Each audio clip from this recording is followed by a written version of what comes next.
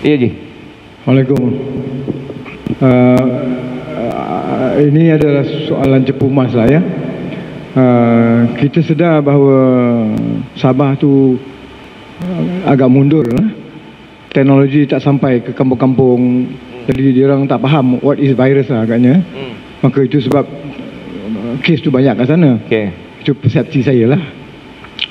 Dengan kaedah itu, kenapa pula masih ada orang-orang yang tak faham bahasa nakkan pilihan raya juga? Kerana dengan kesan daripada itu, uh, dia tak belajar yang apa yang berlaku di Sabah dan uh, bertegi-tegi nak buat dekat Sarawak. Lepas tu nak federal pula. Kenapa ada manusia yang macam tu? Satu. Yang kedua, saya nampak bahawa kejadian COVID ni rawatan uh, banyak negeri-negeri uh, ketua-ketua negeri dia tak banyak main peranan dia serah bulat-bulat pada KKM uh, kalau dia nak terlibat pun ada isu-isu politik itu je terima kasih Okey. Haji tanya mengenai satu COVID dan pilihan raya lah. Aduh, ya Allah. Ni sensitif ni. Dia gini je. Sebenarnya kalau kita nak sentuh pasal Sabah. Eh, kalau kita sebut mengenai Sabah. Sabah, saya tak nak cerita pasal politik lah. Politik nak tak nak perlembagaan. Bila bubar yang parlimen, pilihan raya perlu dilakukan. Bagusnya COVID membuktikan satu perkara. Apa benda yang dibuat oleh manusia boleh diubah. Ya. Memang majoriti doktor kita tahu. Bila kita tahu pasal saya kata tadi COVID sejak daripada dia muncul, sejak kita kenal COVID dahulu sampai COVID 2002 kemudian 2012 kemudian 2020 dia hanya merebak melalui bila social crowding, perkumpulan yang ramai. Ada satu dia spread semua dan merebak melalui tiga jalan tadi. Bila kita kata begitu, bezanya dekat sini apabila mungkin uh, kita rasa lewa apabila kes dah tak ada. Kes dah tak ada. Dan bila tapi Sabah ada satu tempat yang special kerana Sabah dia mempunyai entry dari banyak daripada Indonesia dan juga Filipin. Dan masyarakat Sabah, saya pernah kerja di Borneo. Saya pernah berada di Sabah pasal saya buat praktikal di Sabah. Masyarakat Sabah bukan macam masyarakat di Semenanjung. Masyarakat Sabah eh, di ataupun Sarawak, Borneo ada juga yang yang isu dia lebih besar bukan setakat covid dia bukan isu covid tu saja. Dia isu dari segi malnutrition kekurangan zat makanan tiada kerja pemakanan uh, accessibility to healthcare uh, dan juga uh, apa dan juga dari segi macam mana pentadbiran di sana. Jadi apabila kita melihat pilihan raya sebagai satu pilihan raya itu hanya asbab tarbiyah yang Allah Ta'ala bagi untuk kita semua. Nampak macam galang ganti tu besar lah. Gadaian tu besar. Gadaian tu sangat besar. Yakni melibatkan nyawa rakyat kan sebagai contoh. Tapi macam saya kata, kalau negara kita macam negara maju, contoh Sweden.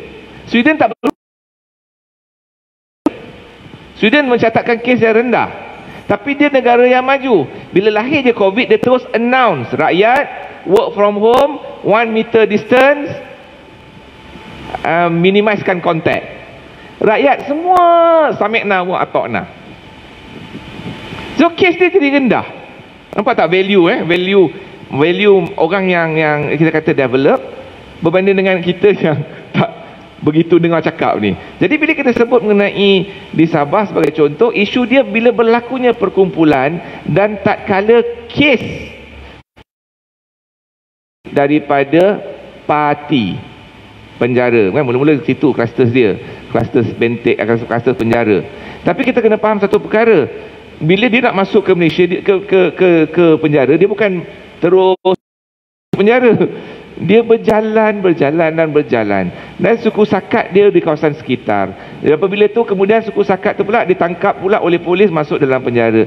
Penjara pula sebelum nak kuarantin sebelum dites dah terdedah dan terdedah dan terdedah bila kita kata multiplication dia 3.5 Kalau mati uh, super spreader kali 10 Sekarang ni nak kata super spreader. Uh, Apa mutation yang baru kali 10 Pasal tu gandaan dia cepat. Komplikasi dia rendah. Cuma dalam keadaan di Sabah Yang menyebabkan dia jadi isu yang lebih besar. Pasal hospital kerajaan Diorang. Tak mati. Kuali pilah je lah. Ha, macam kuali pilah. QE sandakan yang besar. Kemudian the rest macam pilah ataupun jempol. Kan? Macam ni nak support? Kepakaran sedihnya nak cakap kebanyakan doktor pula masa nak jadi doktor termasuklah student. Masa nak jadi doktor kenapa nak jadi doktor? Nak berkhidmat pada rakyat. Tak kali dapat sabah mak bising dah. Kan? Alah duduklah dengan mak. Ha. Itu masalah pula generasi milenium nak jadi doktor tapi nak duduk dekat bandar nak pakai kereta Honda sebagai contoh. Nak duduk nak makan makan subway bila makan dapat gaji. Itu sikap manusia tu sendiri pula. Jadi benda tu semua bila covid ni dia ada satu mesej je. Mesej dia senang. Mesej dia you back to apa yang sepatutnya ada pada masyarakat tu. Dari segi makanannya dari segi healthcare-nya dari segi interaksi masyarakat itu sendiri. Dan disiplin bila kita sebut Sabah yang tu jadi masalah bila kita pilihan raya memang tak boleh disiplin Mungkin di Senawang tak adalah kalau YB datang nak bagi duit ni, tak ada berkumpul beria dia. RM50 je kot contoh. Tapi di Sabah RM50 boleh beli beras. Di Sabah RM50 boleh beli lauk. So, RM50 adalah jumlah yang besar. Itu masyarakat di Sabah. Dan majoriti orang Muslim Sabah sendiri adalah orang-orang kita yang susah. Nak men, nak pergi sungai nak pergi so, nak pergi sungai nak pergi ambil huma nak pergi ayam ah nak tangkap makanan semua benda complicated more than that. Macam kita kata uh, macam contoh sampurna tawau kan? Dia rural. Jadi masalah tu lebih besar daripada tu. Jadi bila kita kata kestabilan politik ni memang Allah dah bagi satu benda dah. Covid ni satu benda Allah bagi. Taat pemerintah. Komplain macam mana? Taat pemerintah tak komplain demokrasi bubar itu je. So, Islam bai'ah taat. Demokrasi bubar.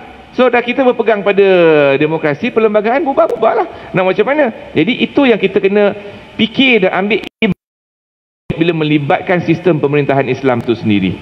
Kalau kita rasa kita nak berubah, kita berubah. Kalau kita masih nak membantah, nak bantah terus, alamatnya memang PRU lah tak lama lagi. Contohnya. Dan bila PRU galang ganti, besar lagi lah. Dulu Sabah, kita tuai dah Sabah, ha, kita tuai pula pada negeri. Bukan bermaksud bahawa tak boleh dilakukan. Boleh dilakukan dengan penambahbaikan. Tapi bila pemimpin adalah cerminan masyarakat, maksudnya sama. Tak ada disiplin, berkumpul, keseluruhannya semua sama. Itu dari segi yang politik salah satu sikit lah kalau kecam satu satu. Yang satu lagi adalah aja lagi uh, mengenai Oh, pemerintah tak bergerak. Tidak, bukan begitu. Apabila kita kata COVID, COVID adalah melibatkan tanggungjawab sendiri. COVID tak melibatkan para pemerintah. COVID hanya minta kita amanah. Kita jaga kebersihan. Masakan orang nak mandikan kita? Masakan orang nak bersihkan diri kita? Masakan orang nak suruh kita duduk kat rumah? Rumah kita. Jadi, kesudahannya COVID hanya ada satu mesej sahaja.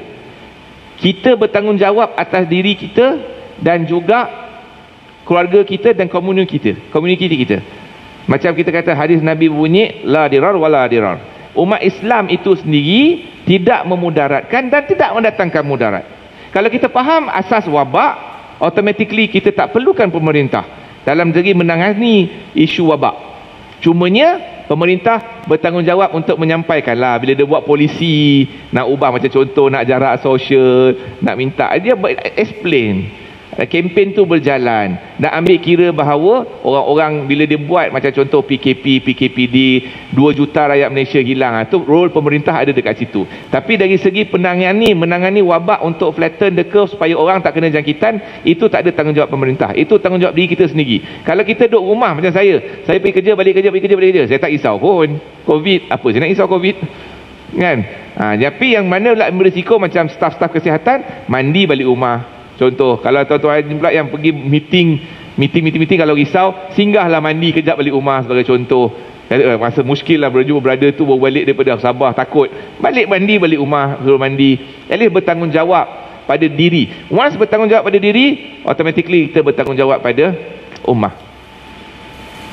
Jadi,